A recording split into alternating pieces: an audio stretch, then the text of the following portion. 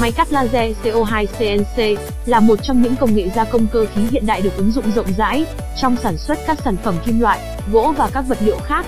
Với khả năng cắt chính xác và nhanh chóng, máy cắt laser CO2 CNC đang trở thành công cụ không thể thiếu trong các ngành công nghiệp như sản xuất ô tô, máy móc, điện tử, đồ nội thất và nhiều ngành khác.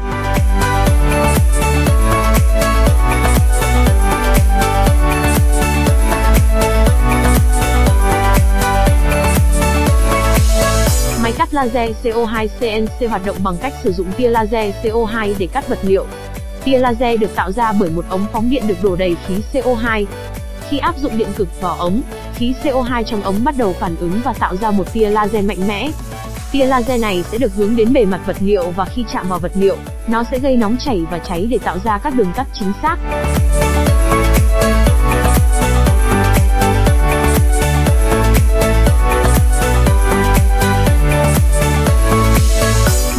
Laser CO2 CNC có khả năng cắt nhiều loại vật liệu khác nhau, bao gồm gỗ, nhựa, cao su, da, vải, thủy tinh và các loại kim loại như thép không rỉ, đồng, nhôm và titan. Điều này giúp máy trở nên đa dụng và phù hợp với nhiều ngành công nghiệp.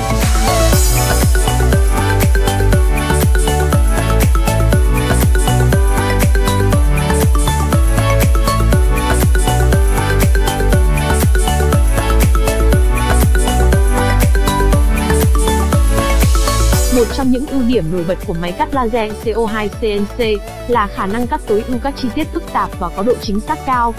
Nó cũng có thể cắt các vật liệu mỏng mà không gây ra méo mó và biến dạng, làm cho sản phẩm cuối cùng đạt được chất lượng cao. Khả năng cắt nhanh và chính xác cũng giúp máy cắt laser CO2 CNC tiết kiệm thời gian và chi phí cho các nhà sản xuất.